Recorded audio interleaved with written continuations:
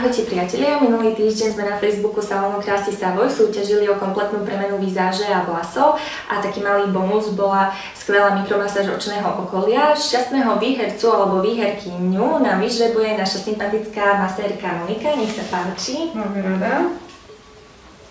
A šťastným výhercom alebo výherkyňou sa stáva Adela Macejková. Tak Adelka, gratulujeme a poprosíme ťa, aby si sa nám ozvala na Facebooku do správy.